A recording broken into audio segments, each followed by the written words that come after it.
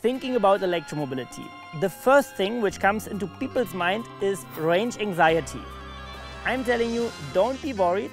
Today, REV is going to tell you how to charge your EV absolutely anywhere. Plus the plugs and cables that are used for a worry-free EV experience in Germany. Let's start with what you can do at home. So this is a standard home plug. If you are like me, at your brother's place and your car is empty, then you can charge in a normal home socket. While it varies in different parts of the world, in Germany, a standard home socket usually supports up to 3.7 kilowatts, 230 volts and 16 amperes. But getting a full charge from a home socket requires some amount of patience. So we are charging right now with 3 kilowatts. That means it takes 13 hours to charge from 60 to 100%. And that, of course, is a long time. And it's not exactly worry-free. So I put it in in a 10 ampere home socket. But as you can see, it's delivering 13 ampere. That is actually dangerous because it could cause the line or wire to burn. In some cars, you have the option to change the amperes, which will help you to save your wire.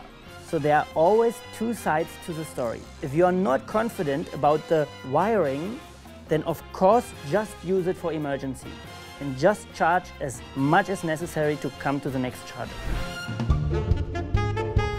A wallbox is a charger what you would install at home. So I personally don't have a wallbox, but that's the reason why we came to this Mercedes dealership to show you what a wallbox is. Wallboxes usually deliver power between 3.7 and 22 kilowatts. And you need a certified electrician to install one, which is often quite expensive. But it can potentially combine convenience with comparatively quicker charging, which is a big plus. So this Mercedes wallbox here is charging my Tesla with 11 kilowatts. Which means it's going to take approximately 1 hour 25 minutes to go from 60% to the 80% charging limit I've set, which isn't too bad. There are also remote charging options in industrial areas. This is an industrial plug. There are two types of these red CEE plugs across Europe. A 16 ampere plug that can deliver up to 11 kilowatts and a 32 ampere plug that can deliver up to 22 kilowatts.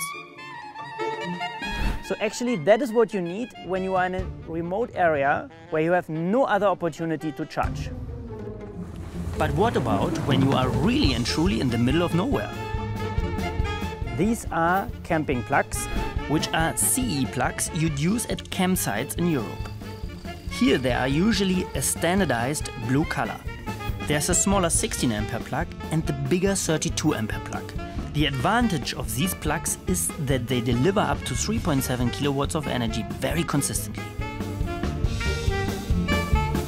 So that I have tried on my own and it works. So you can rely on the electricity pushed into your car.